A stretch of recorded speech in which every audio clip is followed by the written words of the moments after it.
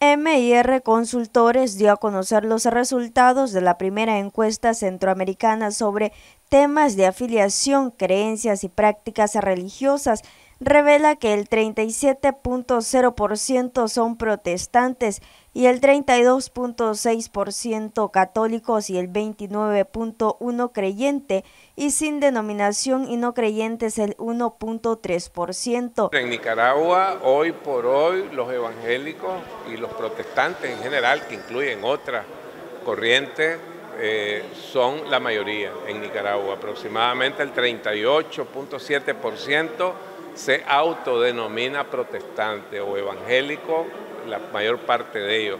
Por el contrario, el catolicismo está en 33.1% en Nicaragua. Bueno, lo vimos desde el punto de vista Centroamérica, pero el comportamiento en los diversos países es más o menos similar.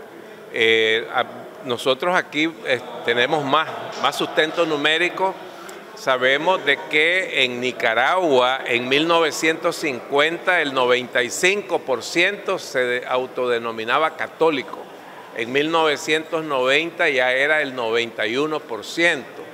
Ya para el inicio del año 2000 estaba en 77 y hoy por hoy está en 32, 33 más o menos, que es el número parecido en Centroamérica. Obregón señaló que la migración religiosa se debe a varios factores. La migración tiene mucho, tiene varios eh, factores que, la, que, la, que la pueden explicar, pero creo, pareciera que una de las principales es que eh, los protestantes son menos ritualistas, el catolicismo es más ritual, este, o sea, lo podés ver en la misa, o sea, y que es el, mismo ritual de siempre.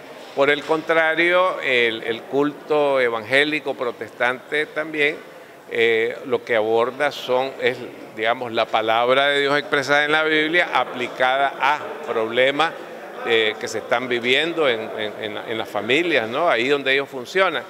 Por otra parte, hay un vínculo más cercano entre los eh, pastores, digamos, eh, evangélicos con su población a diferencia del catolicismo. La encuesta también revela que existe una amplia percepción que en Centroamérica existe la libertad de religión, encuesta que se llevó a cabo del 7 de octubre al 15 de noviembre. Noticias 12, Darlene Telles.